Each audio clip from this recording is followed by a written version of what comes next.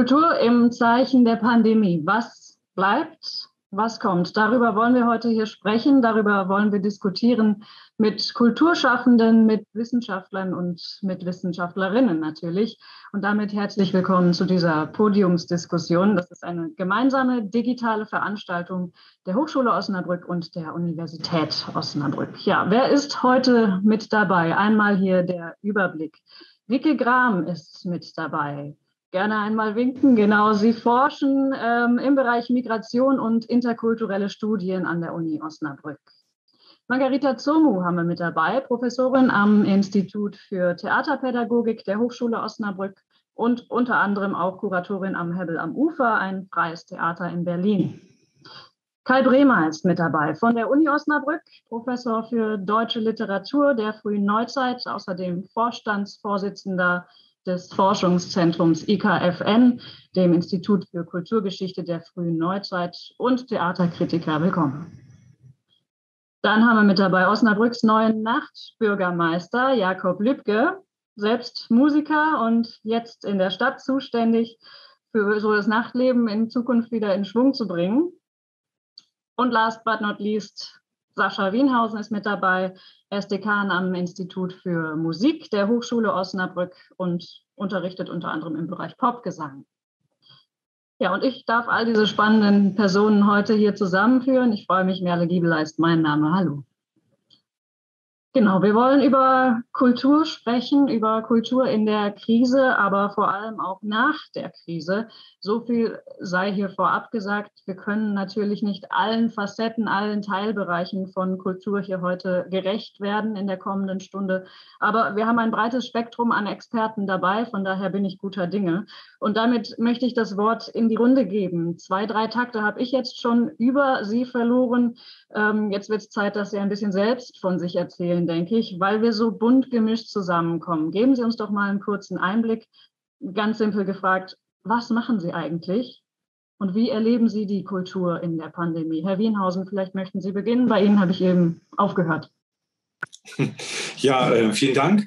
Wie gesagt, ich bin äh, am Institut für Musik, Professor für Pop- und Musicalgesang und war auch 15 Jahre als Solo-Selbstständiger unterwegs auf den Bühnen Deutschlands und habe viel im Opernbereich, aber auch im Musicalbereich und äh, Operette, habe alles Mögliche gemacht, was sich so anbot, auch moderne Oper, die verschiedensten Sachen und glaube ich, kann von daher ganz gut nachvollziehen, in welcher Situation sich im Augenblick äh, die Kulturschaffenden im äh, deutschen Bereich befinden.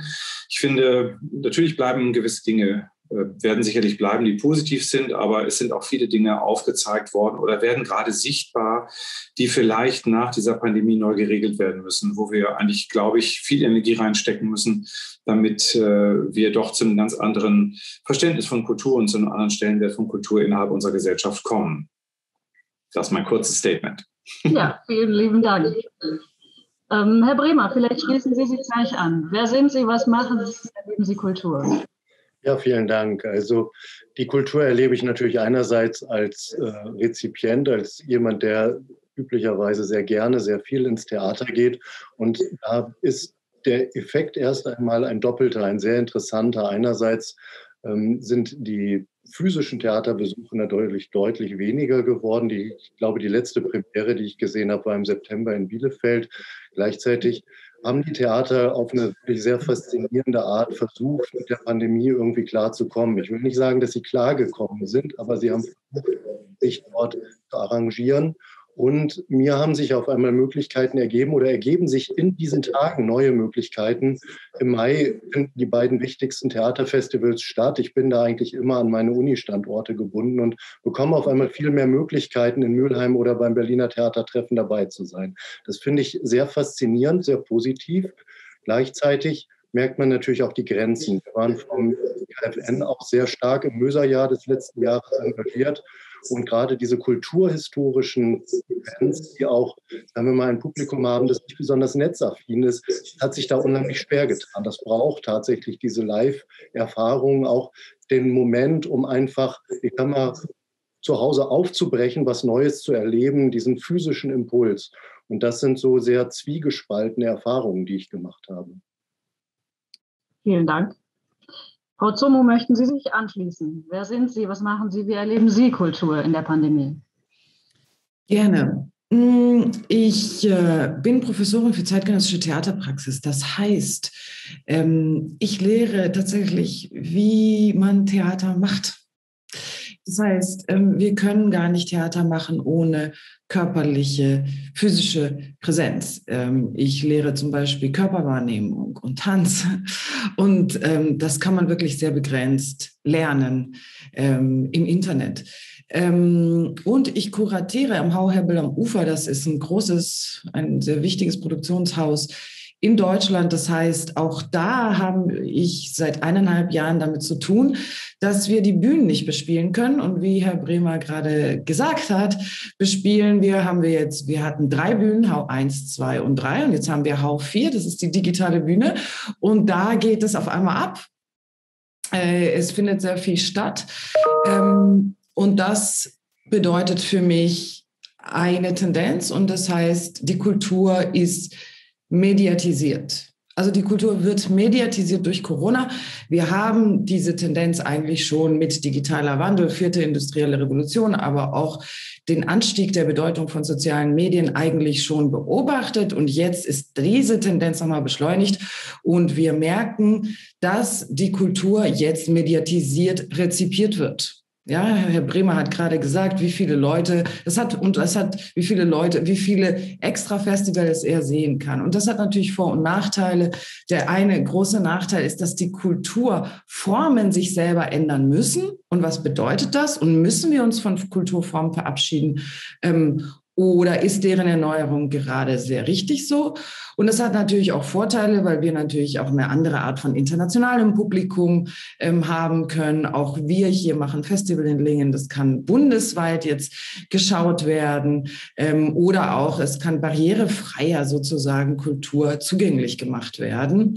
Hm, da gibt es noch andere Dinge. Die Frage, die ich stellen will, ist, die Herr Wienhausen auch angedeutet hat am Anfang. Und zwar, was ist Kultur und inwiefern ist sie systemrelevant? Also wir haben es in Corona-Zeit erlebt, dass, sie, dass die Kultur nicht wirklich als systemrelevant eingestuft wurde. Und da müssen wir uns überlegen, was hat die eigentlich für eine Bedeutung im Leben und hat sie eine? Und ähm, weil, und das ist meine zweite Frage, ich möchte auch ähm, in Frage stellen, ob wir nach einem Nach-Corona ähm, äh, sprechen können oder ob wir nicht viel mehr darüber nachdenken müssen, dass wir in einem Kultur seit Corona sein werden. Vielen Dank, Frau Zumu. Ich gebe das Wort weiter an ähm, Frau Gram. Ja, danke. Ähm, ja, ich bin äh, Reke Gram, ich bin äh, wissenschaftliche Mitarbeiterin am Institut für Migrationsforschung und interkulturelle Studien an der Universität Osnabrück. Ähm, und ähm, eigentlich äh, war meine ähm, Aufgabe, die Kulturinstitutionen in der Migrationsgesellschaft zu forschen. Ich habe aber meine Forschung mit Corona auch ähm, angefangen. Deswegen äh, spielt Corona bei mir in meiner Arbeit natürlich eine große Rolle. Ähm, was ich aber hier erwähnen will, ist ein Projekt, ähm, das ich als Teil meiner mein, mein Forschungsarbeit ähm, initiiert habe mit der ähm, Museumsquartier Osnabrück, mit der Museumslotsin für diversitätsorientierte Vermittlung. Wir haben ähm, Anfang 2020 ein partizipatives Projekt zu Migrations- und Diversitätsgeschichten in Osnabrück ähm, angefangen, ein Ausstellungsprojekt. Und ähm, das hat uns natürlich ganz viel beeinflusst äh, der Pandemie, weil es ein partizipatives Projekt ist. Ähm, und wir, also wo, für uns war es ganz wichtig, ist es immer noch, das, das Projekt äh, läuft immer noch mit Ausstellungseröffnung im Juni, ähm, nicht über die Osnabrückerinnen so, ähm, so arbeiten, so, äh, so schreiben, so ausstellen, sondern mit denen ähm, und diesen ähm, Kontakt ähm, mit den Vereinen, mit den Organisationen, mit den Aktivisten der Stadt war natürlich sehr äh, schwer. ähm, genau, also das würde ich sagen, das, das wird sich auf jeden Fall auch weiterhin ähm, Einfluss haben, diesen, diesen partizipative äh, Projekten in, in, in verschiedenen Bereichen hier am Beispiel äh, Museum. Genau. Partizipation sicher ein, ein großes Thema. Zuletzt äh, gebe ich in dieser Runde noch das Wort weiter an unseren Nachbürgermeister, Herrn Lübke. Das, äh, da können Sie ja sicher auch ein Lied von singen. Ja, da kann ich äh, ein Lied von singen aus äh, zwei Perspektiven. Denn zum einen bin ich selber Musiker. Ich äh, hatte das Vergnügen, bei Sascha Wienhausen auch zu studieren. Nicht Gesang. Ich glaube, wir hatten mal eine Stunde oder ich hatte mal eine Stunde bei dir. Ähm, genau, aber hatte das Vergnügen am Institut für Musik, äh, habe also in meiner Selbstständigkeit auch die volle Breitseite von Corona kennengelernt, wo ich doch vorher zumindest in meinem Studium gut aufgepasst hatte und extra gedacht, guck mal, ich stelle das mal auf viele verschiedene Standbeine, von Chören über Kindermusicals bis Theater und Hochzeiten und Events und so weiter äh, habe ich mich möglichst gut für den Wind von Corona positioniert und sehe das, was Herr Wienhausen sehr treffend angesprochen hat, gerade auch um die Sorge der Beschäftigungsformen, also was passiert mit insbesondere den solo-selbstständigen KulturakteurInnen, ähm, wo wirklich ähm, Mechanismen, sagen wir, unzureichend greifen, jetzt über eine lange Zeit und perspektivisch auch noch für, sagen wir, eine etwas längere Zeit.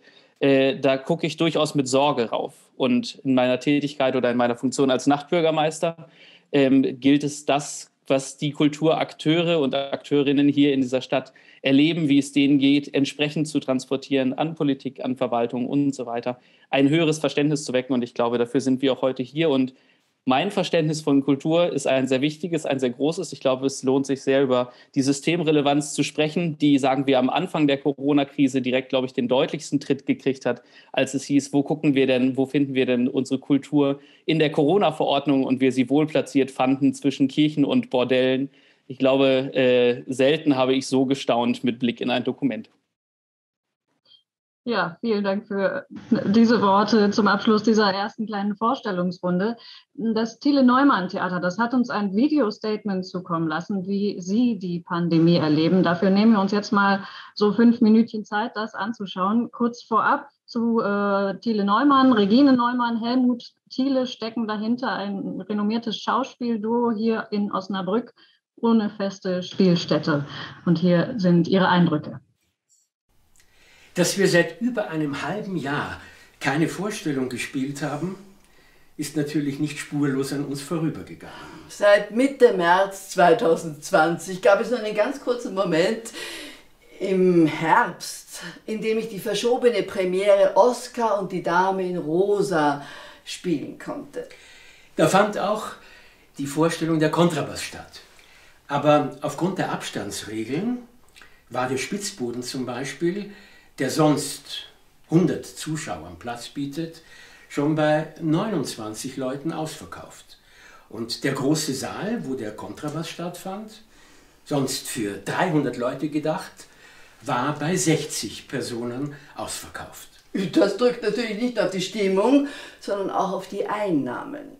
Wenn man da mit plus minus null aussteigt, dann war das schon ein Gewinn. Aber man ist im Training geblieben. Ja, wir müssen ja für unsere Profession in Form bleiben. Ja, man hat ja manchmal schon fast Angst, dass man das Theaterspielen verlernt hat.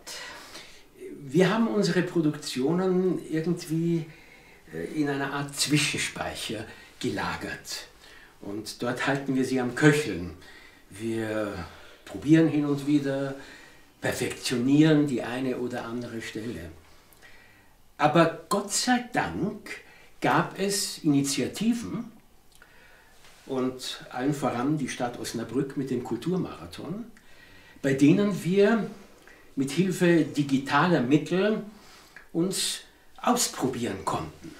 So haben wir das Projekt Coronline Theater ins Leben gerufen. Auf einem virtuellen Spaziergang durch die Stadt haben wir interessante Orte und dazu passende Texte verbunden. Im Volksgarten von Peter Altenberg haben wir einfach in den Schlossgarten verlegt. Und das Liebespaar am Fenster von Kurt Tucholsky haben wir im Ledenhof gedreht. Diese Arbeit mit der Kamera war natürlich sehr, sehr reizvoll. Und wir denken, dass Präsentationen im Internet auch nach der Pandemie eine gewisse Bedeutung behalten werden auch dieses Statement hier wird ja digital aufgezeichnet und wir sammeln weitere Erfahrungen in der Zusammenarbeit mit unserem Kameramann, der letztendlich auch unser Bildregisseur ist. Aber der direkte Austausch mit dem Publikum fehlt natürlich. Das Lachen, der Applaus oder auch die Stille. Allerdings haben wir festgestellt, dass die Pandemie unser Leben irgendwie entschleunigt. Wir haben notgedrungen mehr Zeit. So hatten wir auch ungeheuer viel Zeit zwischen den Proben von Oscar und die Dame in Rosa und der Premiere, die erst ein halbes Jahr später stattfinden konnte. In den dazwischenliegenden Monaten haben wir mit unserem Regisseur in Moskau per Videotelefonie die Produktion weiter perfektioniert. In Russland war ja auch kultureller Lockdown. Und jetzt haben wir zwei Monate Zeit, um uns auf ein neues Projekt einzustellen. Anfang Juli wollen wir der Wiener Heurige in Osnabrück und Umgebung aus der Taufe heben. Dieses Programm ist natürlich auch den Corona-Bedingungen geschuldet. Wenn man hoffentlich überhaupt in der nächsten Zeit wieder auftreten darf, dann wohl im Freien, also in Zusammenarbeit mit einer Außengastronomie. Also werden wir am 2. Juli den Biergarten vom Kartoffelhaus in ein heurigen Lokal umwandeln. Und da wollen wir bisher ungeahnte Talente dem Publikum zumuten. Ich werde singen. Und ich werde dem Publikum mein Akkordeonspiel aufdrängen. Ehrlich gesagt, dieses Programm wäre ohne Corona nicht zustande gekommen. Und noch was. Diese langen Schaffenspausen gestatten einem, dass man sich auch mal mit Bad erleben kann. Und dann profitieren wir natürlich davon, dass wir ein Haushalt sind. Also uneingeschränkt zusammenarbeiten können. Den Geigenhumor haben wir jedenfalls nicht verloren. Aber wir machen uns natürlich auch Sorgen um die Zukunft. Bei uns ist ja ehrlich gestanden die Karrierekurve bereits überschritten. Aber was geschieht mit dem künstlerischen Nachwuchs nach der Pandemie, wenn es überhaupt ein Nachher geben sollte? Was geschieht mit den jungen Kolleginnen und Kollegen, die von der Politik ermuntert werden, Hartz IV zu beantragen? Ja, eine wichtige Frage, die da am Ende stand. Ähm, Herr Wienhausen, vielleicht möchten Sie darauf äh, zunächst mal eingehen. Als ähm, ja, Lehrender sind ja tagtäglich auch mit den Studierenden, dem Nachwuchs, dem Künstlerischen im Kontakt. Was sind Ihre Eindrücke? Was sind Perspektiven für junge Nachwuchskünstler? Also tatsächlich ist das ein großes Problem. Wir haben eine große Perspektivlosigkeit bei vielen. Also wir haben sehr wenige Studierende machen im Augenblick Examen. Die meisten verbleiben noch im sicheren Schoß der Universität, um einfach ihre Ausbildung noch ein bisschen hinauszuzögern und sich nicht dem freien Markt im Augenblick ausliefern zu müssen. Das merkt man auch daran, es gibt keine Agentur vor Singen, also es gibt keine Möglichkeit, sich sich irgendwelchen Agenturen vorzustellen. Niemand kauft letztlich aufgrund einer, eines digitalen Exposés jemanden ein. Es werden ja auch keine Produktionen gemacht. Es wird, äh, also das ist eine, eine große problematische Situation im Augenblick, ähm, so, die dazu führt, dass eben einfach sehr, sehr viele Studierende einfach äh, innerhalb der Hochschule verbleiben. Natürlich benutzen viele auch die Möglichkeit, sich jetzt medial besser aufzustellen. Also es ist tatsächlich jetzt so eine Hauruck-Aktion gewesen, tatsächlich verbinden sich ja digitale Elemente äh, mit performativen Elementen auf eine ganz neue und äh, sicherlich spannende Weise. Und ich glaube auch, dass in der Zukunft tatsächlich eben, wie äh, Frau Zormu schon gesagt hat, in dieser Nach-Corona-Zeit wird sicherlich, werden alle Kunstformen das Digitale wesentlich stärker mitdenken und mitimplementieren. Unsere Studierenden lernen im Augenblick sehr viel äh, in sozialen Medien Contents zu erzeugen. Sie drehen Videos, also sie bereiten sich letztlich vor und haben eine ganze Menge Material, was sie vielleicht damit hinausnehmen können, was ihnen vielleicht auch nachher helfen kann. Aber trotzdem braucht es auch, um eben diese digitalen Medien in performative äh, Formate zu überführen, bedarf es einfach des Kontaktes zu anderen Künstlern. Das ist ganz wichtig. Also von daher tatsächlich ein Stillstand, ein Abwarten und ein Hoffen auf den Streifen am Horizont. Das ist im Augenblick ein bisschen das, was die Studierenden empfinden. Frau Zomo, wenn ich das Wort an dieser Stelle an Sie weitergeben darf. Sie stehen ja auch mit, mit Studierenden äh, regelmäßig in Kontakt mit upcoming Artists, auch am, am, am, am äh, Hebbel am Ufer in Berlin. Wie erleben Sie das? Was, was geschieht da gerade, gerade mit den jünger, jüngeren Künstlern? Ja, ich will das äh, genau unterstreichen, was Herr Wienhausen sagt. Es gibt im Moment keinen Grund zu absolvieren. Das ist ein Problem ähm, weil diejenigen, die bezahlen jetzt für das, was passiert, sind eben die aufkommenden Künstlerinnen. Diejenigen, die noch keine Karrieren haben und sicher sind, dass wenn sich etwas öffnet, sie sofort auf den Zug wieder aufspringen können. Also weil ich es sozusagen auch von der Arbeitgeberseite äh, im HAU sagen kann, es ist so, wir haben Premierenstau bis 2023. Wir haben schon zu Ende geplant. Das heißt, es ist nicht möglich, im nächsten Jahr bei uns irgendeine neue Künstlerin, neuen Künstler zu zeigen. Denn wir zeigen nur die, die größten und die wichtigsten, die das meiste Geld auch mitbringen, ja, deren alles schon finanziert ist und die natürlich auch für uns Publikum bedeuten. Experimente können wir uns im Moment, also neue Künstlerinnen können wir uns im Moment nicht leisten. Und das sind die, die ähm, ja, verlieren werden. Und das ist natürlich äh, deswegen deprimierend, denn vielleicht sind sie gar nicht so prekär, weil es eben Helikoptergeld gab, ganz viel, und sie wurden irgendwie am Leben äh, erhalten, aber ihre Kunst ist nicht am Leben erhalten worden.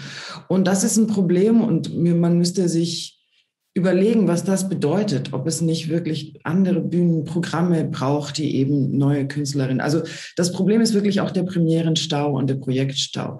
Ich wollte, ähm, ja, vielleicht, wenn es von Interesse ist, ich finde es sehr interessant, darüber nachzudenken, wie eben performative Formen in digitalen Medien überführt werden. Und das bedeutet, dass sich unsere Professionen verändern. Das bedeutet, dass wir zum Beispiel viel mehr Filmerinnen brauchen, als wir, das wurde ja auch gerade gesagt. Ähm, also wir brauchen neue ähm, technikaffine äh, äh, Leute um uns herum. Und auf eine Art werden auch die Kultur wird zum Tech-Unternehmen, so wie auch alles zum Tech-Unternehmen wird. Das ist neu und dann denke ich mir, müssten wir nicht eigentlich das Modul Theaterinformatiker einführen, ähm, um damit irgendwie ja, am Ball bleiben zu können. Für meine Studierenden, kurze Notiz, ähm, ich habe jetzt das zweite Semester, die haben sich noch nie live gesehen. Die machen nur Zoom. Daraus kann keine Theaterpädagogik zum Beispiel entstehen, wie wir sie haben, weil die lebt natürlich vom Kontakt. Absolut, ja. Ich würde gerne das Stichwort neue Formate, neue Formen nochmal aufgreifen. Herr Bremer, wie kann man das vielleicht auch im, im, kulturhistorischen Kontext alles so ein kleines bisschen einordnen? Sie haben ja auch einen ganz guten Blick auf die Theaterszene insgesamt. Wie entwickelt die sich jetzt im Moment? Naja, also was wir erleben, ist, glaube ich, nicht etwas komplett Neues, sondern ich glaube, was wir im Moment erleben, ist eine Beschleunigung, die durch die Pandemie einfach forciert wird. Also diese ganzen Digitalisierungsverfahren, die Frau Zumo gerade angesprochen hat, die sind ja gerade bei den avantgardistischen Theaterkünstlerinnen und Theaterkünstlern schon vorher da gewesen. Ich habe zehn Jahre in Gießen unterrichtet, zwar in der Germanistik, habe da sehr eng mit den Theaterwissenschaftlerinnen zusammengearbeitet und ähm, war zu Anfang total überfordert, wenn da aus der angewandten Theaterwissenschaft äh, junge Studierende ankamen, die dann versucht haben, statt Referat irgendwie mit ihren äh, Handykameras irgendwelche kleinen Performances zu machen und musste da auch erst lernen, mich darauf einzulassen. Aber was ich damit sagen will, das war schon da. Nur wir brauchen es jetzt viel, viel dringender, weil die Breite einfach sich erstmal verengt hat. Ähm, also ich glaube, deswegen ist so ein kulturhistorischer Blick, der muss, glaube ich, nicht zu weit zurückgehen, was er, glaube ich, wofür er aber, glaube ich, gut ist. Und deswegen finde ich Ihre Frage sehr wichtig, ist, dass wir uns klar machen, was war vorher eigentlich schon da. Denn ich habe den Eindruck, dass jetzt vielfach außerhalb einer solchen Runde so getan wird, als wäre in den Künsten, aber genauso auch in den Geisteswissenschaften und in den Kulturwissenschaften gewissermaßen das Digitale bisher ein völliger Fremdkörper gewesen. Und das ist natürlich Quatsch, das muss man vielleicht auch mal in aller Deutlichkeit sagen. Gleichzeitig haben wir jetzt aber eine Beschleunigung und wir müssen, so wie das gerade skizziert worden ist, da würde ich mich auch voll anschließen, eben denke ich, über Organisationsformate und über neue Bedürfnisse nachdenken. Also wenn jetzt das Theater Augsburg beispielsweise anfängt, VR-Brillen durch die ganze Republik zu schicken, dann setzt das natürlich erstmal voraus, dass es ein Publikum geben muss, das eine Ahnung davon hat, was VR-Brillen sind. Ja? Ähm, wenn beispielsweise die beiden Künstler, die gerade gesprochen haben, äh, über die viele Freizeit sprechen, gehört zur Kehrseite der Medaille auch dazu, dass einige derer, die hauptberuflich im Moment arbeiten, eine Arbeitsbelastung haben, die exorbitant höher ist, als sie das je gewesen ist. Also wir haben eine völlige auseinanderklaffende Arbeitsrealität im Moment. Diejenigen, die frei arbeiten, gerade die, die künstlerisch arbeiten, haben ähm, auf sehr erschreckende Art und Weise häufig sehr, sehr viel Zeit zur Verfügung. Und im Gegenzug unterstelle ich einfach mal meinen Kolleginnen hier, die ähm, an den Hochschulen tätig sind, dass wir eine Arbeitsbelastung haben, die exorbitant höher ist, als es noch vor anderthalb Jahren der Fall gewesen ist. Das heißt, wir haben Verschiebungen und die müssen wir analysieren und da gehören die künstlerischen Prozesse mitten rein. Das hat dann auch nichts mit Systemrelevanz oder so zu tun, sondern damit zu tun, dass wir Arbeitsprozesse seit der Pandemie neu diskutieren müssen, weil sich einfach ähm, Dynamiken neu entwickeln. Herr Lübke, Sie stehen ja im Kontakt mit vielen freien Künstlern, sind selber äh, Solo-Selbstständiger. Vielleicht können Sie da nochmal anknüpfen. Ist das so viel Freizeit, die wehtut im Moment?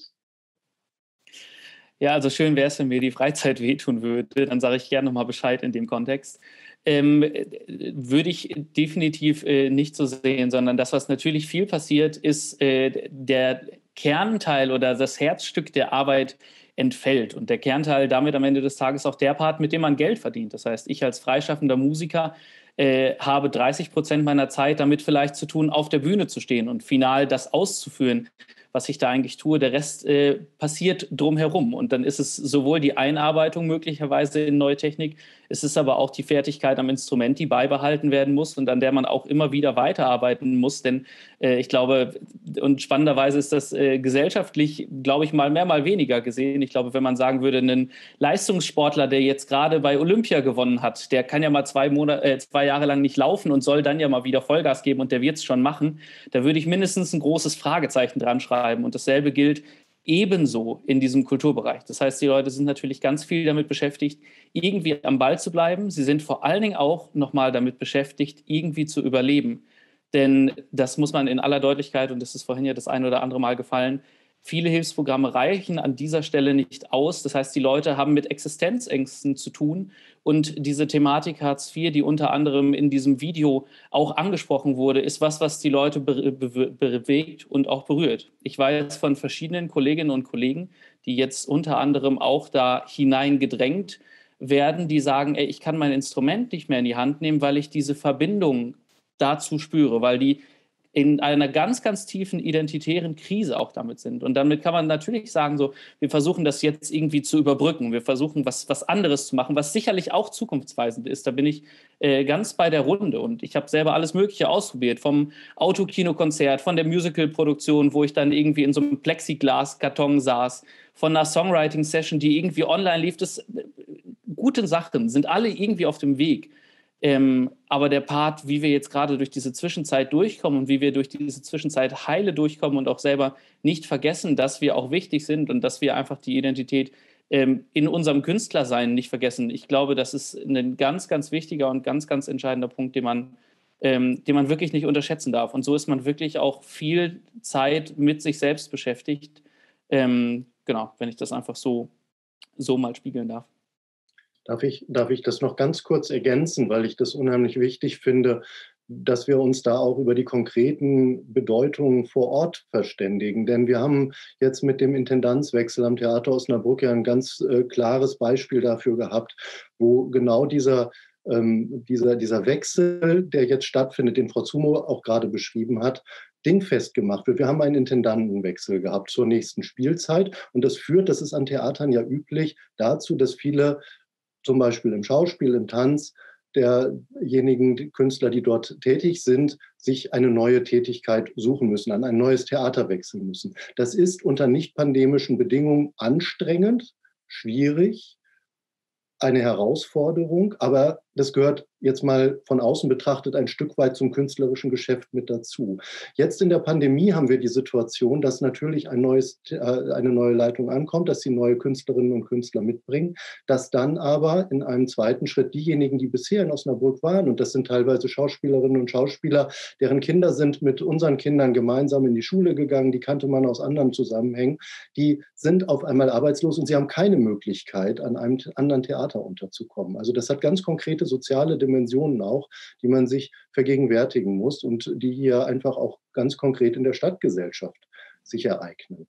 Und wenn ich das ganz konkret für Osnabrück so ergänzen darf, mir haben zwei, drei von eben diesen Schauspielern geschrieben, die auch zusätzlich sagten, ey, wenn du eine Idee hast für einen Job, der auch nichts mit Musik oder nichts mit Kunst direkt zu tun hat, sondern mit Social Media. Ich habe irgendwie mal so und so eine Ausbildung gemacht und die und die Lehre und ich hätte das und das noch in petto. Aber hier sehe ich gerade die Zukunft nicht oder ich möchte aber gerne in Osnabrück bleiben, weil ich bin entsprechend schon lange hier, meine Kinder sind hier sozialisiert und so weiter und so fort. Ähm, die dann ganz klar sagen, ich gehe hier jetzt auch nicht weg und jetzt will ich für meine Familie hier bleiben, jetzt muss ich mir was anderes suchen. Und da äh, bin ich doch relativ sprachlos, wenn ich das in dieser Deutlichkeit und wie Herr Bremer das sagt, das ist genau der Fall, den wir hier in Osnabrück ganz praktisch haben. Und der vielleicht auch da zu wenig gesehen wird.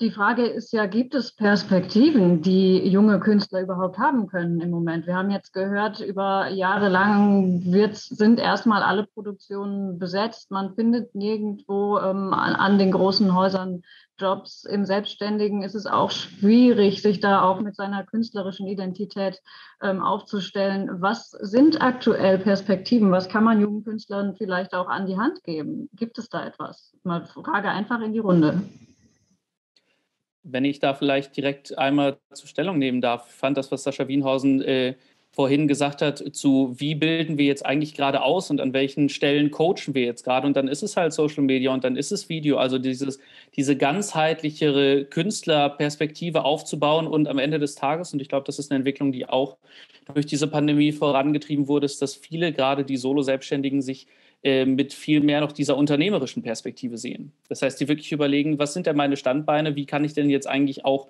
äh, am Ende des Tages in einem sinnvollen Geschäftsmodell, also zumindest so agieren, dass ich meinen Lebensunterhalt davon fahren kann. Und da gibt es auch ganz viele tolle Beispiele. Äh, jemand, der auch bei Sascha studiert hat, äh, ist der Florian Albers. Der hat sich äh, ein wunderbares Twitch-Programm jetzt hochgezogen. Die ziehen das, glaube ich, jede Woche bei denen aus dem heimischen Wohnzimmer durch äh, top Design, top gestaltet, äh, mit wunderbarer Kameraführung und ganz vielen Gästen, die dann jetzt gerade sagen, ey, ich möchte auch unbedingt mal zu euch kommen. Ihr habt da so ein tolles Format. Es gibt entsprechend viele Leute, die quasi regelmäßig und vertrauensvoll auf das Format zuschalten und womit am Ende des Tages auch Geld generiert werden kann. Also es gibt auch Positivbeispiele. Frau Graham, Sie möchten anschließen. Ja, ich, ich, ich äh, habe auch in den Videos, wie, Video wir gerade gesehen haben, was Positives gehört. Und das ist halt das, äh, und auch in Osnabrück in der, in der letzten Jahr beobachtet, ist halt die Benutzung von der Stadtraum.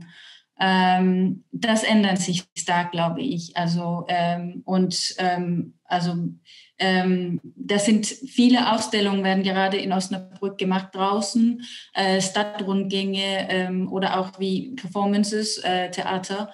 Ähm, also das glaube ich, das, das, das ist auf jeden Fall ein, ein positive, meiner Meinung nach, Entwicklung in dieser Zeit.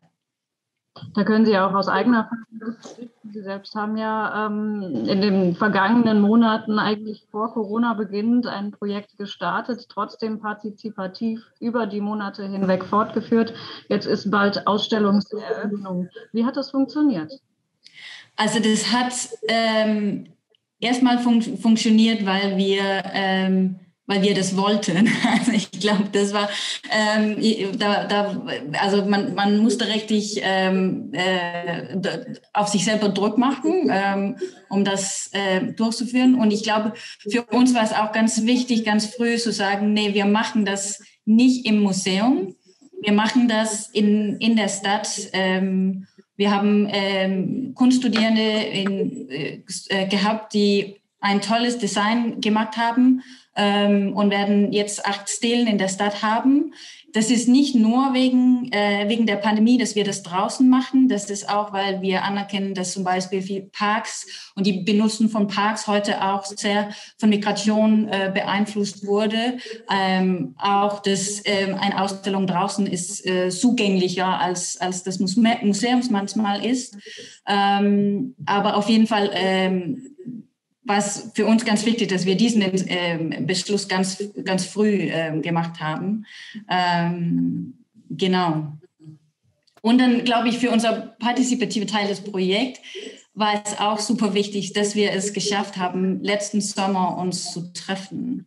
Ähm, nicht mit alle, aber mit einigen von den Leuten, dass wir diesen kleine Öffnung hatten und wir uns auch tatsächlich ähm, im Museum sehen konnten. Das ähm, weil, also ich bin auch ein sehr analoges Mensch und ähm, äh, also diesen Gemeinschaft, wenn man Gemeinschaftsprojekte machen, dann ist es, ähm, obwohl wir nicht tanzen, ähm, auch wichtig, ähm, zusammen äh, zu sein, physisch. Ja, man musste kreative Alternativen finden. Dieser kleine äh, Raum im Sommer war besonders schön. Wir haben auch immer wieder gehört, Digitales ist wichtig, die Kultur wird medialisiert. Das ist ein großes Thema, das durch die Pandemie beschleunigt wurde. Schauen wir an dieser Stelle ähm, mal auf die Medienkunst selbst. Das European Media Art Festival hat ja kürzlich stattgefunden, hat sich seit vielen Jahren in Osnabrück manifestiert. Das EMAF, ein internationales Festival, wie gesagt, kürzlich stattgefunden in seiner inzwischen 34. Auflage, aber schon zum zweiten Mal gezwungenermaßen eben komplett digital. Katrin Mund, die Festivalleiterin, die gibt uns einen kleinen Einblick, wie es war. Das EMAF hat in diesem Jahr schon zum zweiten Mal weitgehend digital stattgefunden. Ähm, und es war uns eigentlich schon im vergangenen Jahr klar, dass sich Festivals und ihre Struktur nicht ohne weiteres und ohne Reibungsverlust in den digitalen Raum verlegen lassen. Ähm, wir haben also auch nie versucht, das zu simulieren. Wir haben also schon im vergangenen Jahr uns von so etwas wie einem Festivalzeitplan mit fixen Timeslots verabschiedet, äh, haben das auch in diesem Jahr so weitergeführt und außerdem noch den Online-Festival-Zeitraum erweitert, um mehr Menschen die Möglichkeit zu geben, die Programme wirklich zu verfolgen. Denn inzwischen stehen ja nicht nur wir, sondern alle anderen äh, Online-Kulturveranstaltungen in Konkurrenz zu unzähligen ähnlichen Angeboten. Ähm, und diese Erweiterung hat sich definitiv ausgezahlt, jedenfalls wenn man die Rückmeldung zugrunde legt, die wir bekommen haben. Ähm, hinzu kommt natürlich, dass wir ein wirklich globales Publikum ansprechen konnten, ähm, was für ein internationales Festival natürlich sehr wichtig ist. und zudem hatten wir die Möglichkeit, Gäste zu involvieren ins Festival für Online-Talks beispielsweise, die sonst vielleicht nicht für einen einzigen Auftritt nur nach Osnabrück gereist wären. Ähm, ein außer, außerdem ein großes Plus für uns ähm, waren die Künstlerinnengespräche, die wir größtenteils voraufgezeichnet haben, die nicht nur jetzt im Nachhinein schöne Dokumente ähm, darstellen, sondern auch für uns eigentlich im Vorfeld des Festivals schon eine schöne Möglichkeit waren, sehr intensiv und eingehend mit den Personen zu sprechen, deren Arbeiten wir zeigen. Und ähnliches gilt auch für die Online-Chatrooms, die wir während des Festivals äh, genutzt haben, um so etwas wie ein Vor-Ort-Zusammenkommen äh, zu ermöglichen. Ähm, all das hat sicherlich dazu beigetragen, dass wir trotzdem sowas wie wie ein gemeinsames Erleben auf Distanz ermöglichen konnten und Gesprächsanlässe schaffen konnten. Ähm, und einiges davon werden wir sicherlich auch in Zukunft fortsetzen. Trotzdem wäre mir wichtig, dass wir ähm, die gemeinsame Erfahrung von Kunst vor Ort nicht dem Reichweite-Fetisch opfern. Herr Bremer, Sie hatten ja vorhin schon erzählt, Sie selbst haben, können im Moment an so vielen Events teilnehmen wie sonst nie zuvor, eben durch digitale Formate. Vielleicht können Sie gleich anknüpfen. Was ermöglicht uns dieses Digitale, die Medialisierung der Kunst und wo sind auch die Grenzen? Na, also teilnehmen ist, müssten wir jetzt dann eigentlich mal definieren, was das ist. Also ich kann es zur Kenntnis nehmen, so würde ich es vielleicht versuchen zu beschreiben. Es ist eben ein Unterschied. Ähm, für mich, ob ich äh, wie bisher beispielsweise beim Theatertreffen ist äh, vielleicht mal im Laufe der, der Spielzeit irgendwie zwei der, der ähm, Produktionen gesehen habe, weil ich irgendwie rumgekommen bin und dann vielleicht von Osnabrück aus noch äh, zweimal nach Mülheim komme und zwei Sachen sehe. Ähm, oder ob ich, wie bisher auch häufig geschehen, dann irgendwie Dreisat noch alles, irgendwas davon abfilmt und das, das dann irgendwann zu einer unmöglichen Zeit irgendwie zeigt. Das war ja bisher auch schon eine Möglichkeit. Ähm, oder ob ich jetzt das gesamte Programm mir angucken kann, auch etwas nachhaltiger mir angucken kann, ähm, weil, weil ich es abrufe oder ähnliches. Das ist aber natürlich ähm, sozusagen eher mein akademisches Interesse und vielleicht auch mein Interesse als, äh, als nebenberuflicher Theaterkritiker, dass ich einfach eine Vorstellung von der Bandbreite bekomme. Ich würde nie behaupten, dass es das Gleiche ist. Ähm, äh, wie ein, äh, ein Besuch tatsächlich beim Theaterfestival. Das geht natürlich schon damit los, dass neben mir niemand sitzt oder maximal irgendwie vielleicht die Menschen, die mit mir zusammenleben, sitzen. Und da und das geht natürlich auch weiter, dass diese Kunstform von vornherein anders angelegt ist. Viele der Produktionen, und das ist natürlich der Unterschied wiederum zu früheren Zeiten, als das ZDF das aufgenommen hat, viele der Produktionen kalkulieren jetzt natürlich schon die zweidimensionale Rezeption mit ein. Das ist ein zentraler Punkt. Klar, darüber kann ich nachdenken. Ähm, da sind wir dann wieder bei den neuen Formaten. Aber ich glaube, wir, was, was hier aussteht, ähm, ist, und es ist vielleicht auch kein Zufall, dass jetzt so viele Menschen äh, sich an die dieser Diskussion beteiligen, die in irgendeiner Weise einen akademischen Zugang auch zu Kunst haben. Ich glaube, was wir brauchen, ist tatsächlich eine Präzisierung dessen, wo wir sagen, welche Kunstform, aber auch welche Vermittlungs- und Rezeptionsform brauchen wir, die Präsenz notwendig machen, die Mischform notwendig machen und was kann beispielsweise auch im digitalen umgesetzt werden. Ja, um ein Beispiel aus meinem eigenen Berufsleben zu skizzieren. Es gibt immer noch diejenigen, die sagen, ja, also Vorlesungen, die können, die sollten auch alle wieder präsent werden. Das ist, glaube ich, eine Debatte von gestern. Also diese Massenvorlesungen, die die Geisteswissenschaften, aber auch beispielsweise die Betriebswirtschaftslehre oder andere Fächer haben, ich glaube, die sind Geschichte. Darüber braucht man gar nicht mehr viel nachzudenken. Und gleichzeitig würde ich aber sagen, in meinem Bereich ein intensives Doktorandenkolloquium, wo es äh, um, um ernsthafte Dinge geht oder erst recht so theaterpraktische Sachen wie das, was Frau Zumo vorhin skizziert hat, ähm, da kommen wir einfach an Präsenzformaten Formaten gar nicht vorbei. Und es ist tatsächlich vehement notwendig, dass wir das markieren, dass die Politik nicht weiterhin so tut, als wäre das zumutbar, dass dort äh, junge Menschen, die etwas studieren, etwas Wichtiges studieren, dass das äh, einfach so ohne Probleme mal ins Digitale versetzt werden kann. Das sind, glaube ich, die Dinge, über die wir sprechen müssen. Also viel zielgenauer, präziser über dieses Spektrum reden und es auch definieren und auch einfordern. Wenn wir über dieses Spektrum reden, Frau Zomo, Sie haben ja vorhin schon, ähm, ich weiß den genauen Begriff nicht mehr, ich glaube, es war ein Medientempel oder jede Kultureinrichtung muss auf jeden Fall auch eine mediale Institution werden. Können Sie das vielleicht nochmal konkretisieren? Wo sind da die Möglichkeiten von digitaler Technik, von den, von den neuen Medien? Ich habe gesagt, ein Tech-Unternehmen, das ist eine These auch von so jemand wie Klaus Schwab vom World Economic Forum, die sagen, dass eben jedes Unternehmen jetzt ein Tech-Unternehmen werden wird. Ob Supermarkt oder der Restaurant, äh, durch Lieferservices, in Apps, äh, man abonniert Sachen, also das Abonnement wird übrigens viel wichtiger als das Ticket werden. Also solche sind die Entwicklungen, auf die wir uns einstellen werden müssen. Und ähm, dass das Theater zum Beispiel bei uns, die Expertise ist noch nicht da. Wir erarbeiten uns sie in den letzten eineinhalb Jahren mühevoll mit wirklich viel mehr Arbeit als zuvor. Ja, unsere TheatertechnikerInnen, die können Licht für Theater setzen, aber kein Licht für Film. Das heißt, wir müssen die Leute fortbilden, ja, in einer Geschwindigkeit, von der wir nie gedacht haben, dass es möglich sein wird, Leute fortzubilden. Was bedeutet das jetzt? Und damit wir uns klar machen, sozusagen, dieses Umdenken, wir können das nicht auslagern auf jede einzelne Person. Ja, es braucht ein kulturpolitisches Umdenken, auch für die Hochschulen, übrigens, wie gerade gesagt wurde, wie wir jetzt sozusagen diesen Übergang gestalten. Ja? Unser Theater, jede Produktion kostet fast ein Drittel mehr als sonst. Ja? Mehr Geld, ist schon uns gesagt worden, wird es nicht geben. nach der Pandemie und seit der Pandemie. Ja, da braucht es irgendjemand, der auch wirklich hilft, dass solche Institutionen sich zu Tech-Unternehmen werden. Ja, und das können nicht wir alle einzeln auf unseren Schultern und auch die Künstlerinnen nicht auf ihre Schultern tragen. Und deswegen ist für mich wirklich tatsächlich, also ich denke, es gibt sehr viel Perspektive in der Digitalisierung, weil ich bin natürlich keine Kulturpessimistin. Ja, also als der Film gab, äh, kam, hatte, hat Brecht das total umarmt und hat gesagt, ich verändere mein Theater wegen des Films. Natürlich müssen wir unser Theater verändern. Das heißt eben nicht nur die Bühne abzufilmen, sondern eben die Technik zu integrieren in die künstlerischen Formate, wie jetzt auch wiederholt gesagt wurde. Und das heißt, Games zu machen, Stadtrundgänge, Audio-Walks und so weiter. Es gibt viele, viele Möglichkeiten. Ja?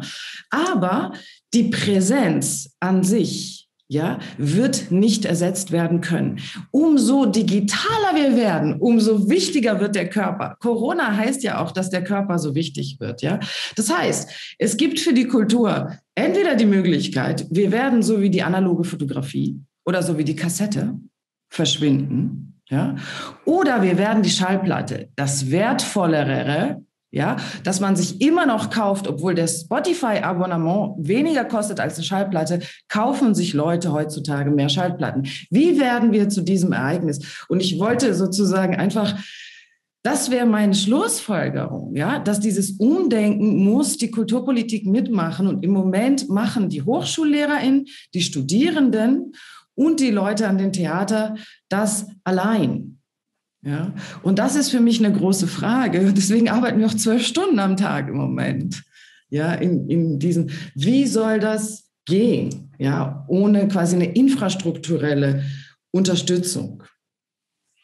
Ich finde das ganz interessant. Ich finde vielen Dank, Frau, Frau Zommo. Das war, äh, mich erinnert das an die ganzen äh, Digitalisierungsmaßnahmen äh, oder die ganzen Gelder, die freigesetzt wurden vor, seit einigen Jahren vom Land Niedersachsen zur Digitalisierung auch der Hochschulen und so weiter. Es gab keine einzige Möglichkeit für Kulturschaffende, sich innerhalb dieses Digitalisierungsprozesses ähm, sozusagen zu beteiligen und digitale Formate für, für Künstlerinnen sozusagen abzu, abzurufen. Das war völlig unmöglich. Von daher finde ich das äh, einen sehr wichtigen Aspekt, den Sie da gerade genannt haben. Und äh, da muss was passieren. Zumal wir jetzt ja im Augenblick, wenn ich das einfach mal so ungefragt sagen darf, so eine Schräglage haben, in dem wir doch, diese Digitalisierung kostet sehr viel Geld. Und im Augenblick können sich das nur äh, Staatstheater, also im Grunde nur Theater, die am Tropf hängen.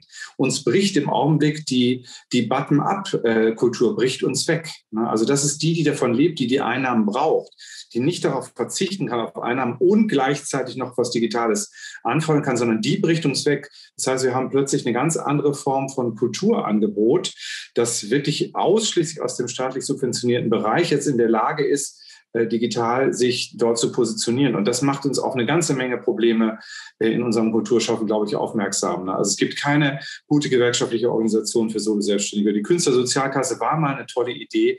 Die ist bei weitem nicht mehr ausreichend, um irgendetwas in dieser Art aufzufangen. Also da muss ganz viel passieren. Und das finde ich das Positive, dass im Augenblick sich Initiativen gründen, dass sich äh, ähm, tatsächlich Verbände gründen, die versuchen sozusagen eine Lobby zu bilden, um dann auch aus dem Bereich der Solo-Selbstständigen Selbstständigen und der freien Künste heraus was zu bewirken, weil wenn das so weitergeht, dann bricht dort alles weg. Definitiv. Wenn ich da einen Gedanken kurz anknüpfen darf. Ich glaube, äh, an vielen Stellen geht es um Geld und wie bewegen wir das Ding vorwärts ähm, und wie kriegen wir aber am Ende des Tages ein neues, großes Verständnis davon hin. Und ich glaube, einer der ganz großen Twists, die man jetzt gerade immer wieder merkt, ist, dass wirklich diese sogenannte Doppelfunktion kultureller Güter unbedingt mehr und mehr anerkannt werden muss. Das heißt, wir können auch nicht erwarten, dass das alles jetzt aus den ganzen Kulturtöpfen fließt.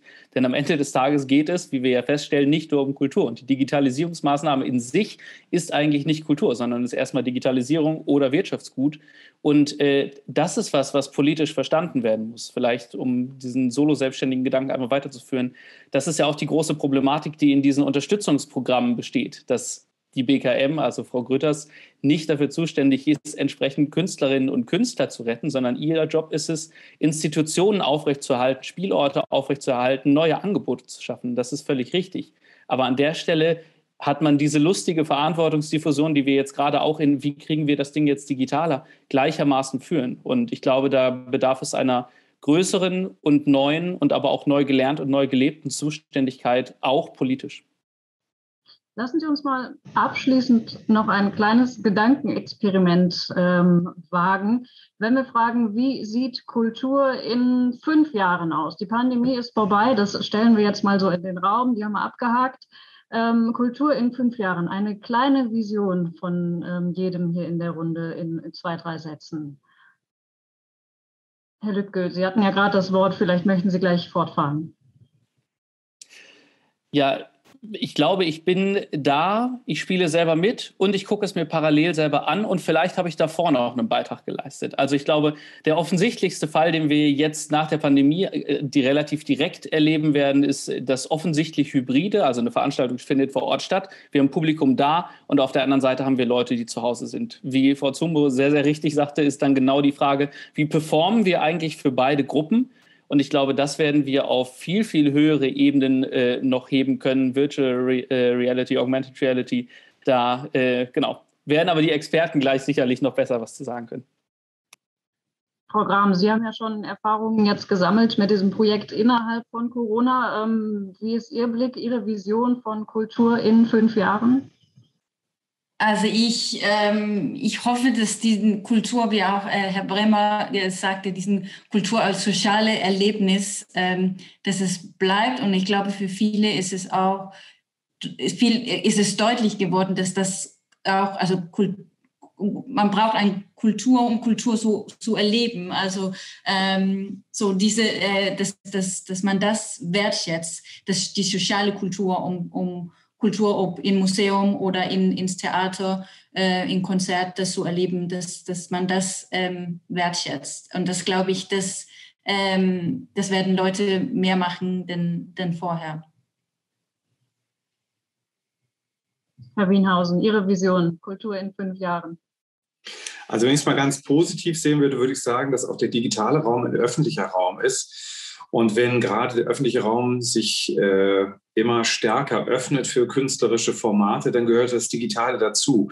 Und ich könnte mir vorstellen, dass einfach dieser Begriff ähm, des öffentlichen Raumes einfach größer gefasst ist und sich digitale, öffentliche und traditionelle Formate, ähnlich wie der tollen Schallplatte, die man gerne wieder kauft, sich einfach besser vermischen. Das, ich glaube, es könnte eine größere Sichtbarkeit für die Kultur schaffen und vielleicht auch die Probleme, die unsere Kulturbetriebe haben, ähm, in ein anderes Bewusstsein bringen. Weil das ist, glaube ich, passiert. Also die ganzen prekären äh, Situationen sind viel, viel stärker an die Öffentlichkeit gekommen durch Corona. Und ich hoffe, diese, das versinkt nicht einfach wieder, sondern es wird dazu führen, dass wir ähm, uns dieser Probleme annehmen. Und das hoffe ich. Wenn wir schon von der Schallplatte sprechen, Frau Somo, möchten Sie Ihre Vision noch stellen? Es so wie die Kollegin. Ähm, auf jeden Fall Hybrid ist, glaube ich, sehr, sehr wichtiges Stichwort. Ich stelle mir auch vor, dass man sich Performances in ähm, Hologramme nach Hause bestellen kann. Also sozusagen, man hat den Herr Hau Hebel am Ufer Oculus der eben dann zu Hause ist. Das ist ein Abonnement, das ist kein Ticket mehr. Und dann äh, kann man dort sein Virtual Reality Performance sehen oder sein Hologramm. Das heißt, es gibt jedes Theater, sage ich mal, wenn ich jetzt so eher so ähm, fabulieren kann, jedes Theater, jede Institution hat seine, ihre App. Und da drin finden auch die Foyers statt, da drin findet Sozialität statt, dadurch, dadurch findet die Kommunikation statt. Das heißt aber auch, dass sich Leute wirklich ähm, sehr kloppen um die Tickets der Präsenz. Ja, also die Leute werden das sehen wollen, sie werden das erleben wollen. Ähm, und denn ich glaube fest daran, Kultur stirbt nie. Sie ist wie das Atmen. Man wird immer Musik machen wollen. So ist das mit der Menschheit nun mal. Äh, die Menschheit wird immer tanzen wollen. Sie wird immer Musik tanzen äh, machen wollen. Sie wird immer malen wollen. Es ist einfach ein menschliches Bedürfnis. Das ist nicht totzukriegen. Ja, deswegen bin ich natürlich nicht total negativ, sondern das gehört zu uns wie Schlafen, Essen und Atmen. Ja, ähm, schwierig ist, ob wir sozusagen jetzt das, was Herr äh, Wienhausen gesagt hat, ob wir es schaffen, diese Situation jetzt quasi als Chance zu sehen. Also dass quasi diese alles auf Null gesetzt sein ähm, der, der Pandemie irgendwie es schaffen, so Leute wie Herr Lübcke, der quasi auch in der Politik ist, da wirklich einen Keil reinzusetzen und zu sagen, das brauchen wir, bitte denkt weiter, denkt neu, ja, oder ob wir dann, und das hat zu tun, das damit, wie wir uns jetzt verhalten und ob diese ganzen Initiativen, die Herr Wienhausen genannt hat, auch wirklich erfolgreich sind.